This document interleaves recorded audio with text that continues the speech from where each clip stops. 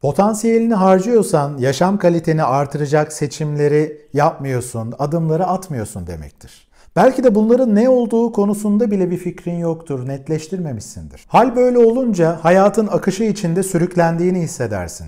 İşinde, ilişkilerinde, bireysel yaşamında bir kontrolün yok gibi hissedersin. Rüzgarda savrulan bir yaprak gibi. Aslında anlamlı ve önemli olan şeyleri yapmaya niyetlendiğinde ama bunların bir taraftan sabır gerektiren sıkıcı ve zorlayıcı şeyler olduğunu da gördüğünde o zaman alternatif daha eğlenceli seni oyalayacak şeylere doğru çekildiğini hissedebilirsin.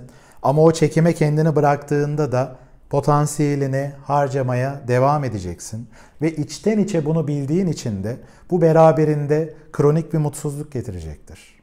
Potansiyelini harcamasaydın neler yapardın? Bir düşün.